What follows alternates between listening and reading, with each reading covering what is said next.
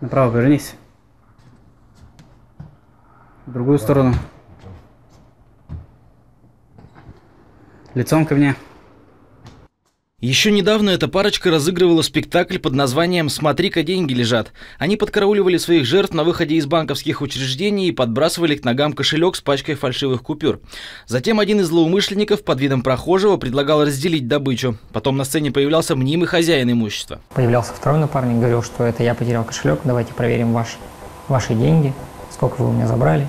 И с использованием ловкости рук, так называемым подломом, подламывая купюру, э, похищали деньги потерпевших. Злоумышленников задержали по горячим следам. Ими оказались недавно освободившиеся из мест заключения жители Перми. Наказание отбывали за аналогичное преступление. Изъяты вещественные доказательства, пачка фальшивых купюр.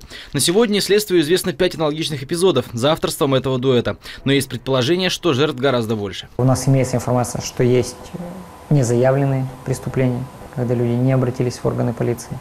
Кроме того, по данным уголовного розыска, группа выезжала в другие города Пермского края для совершения аналогичных преступлений.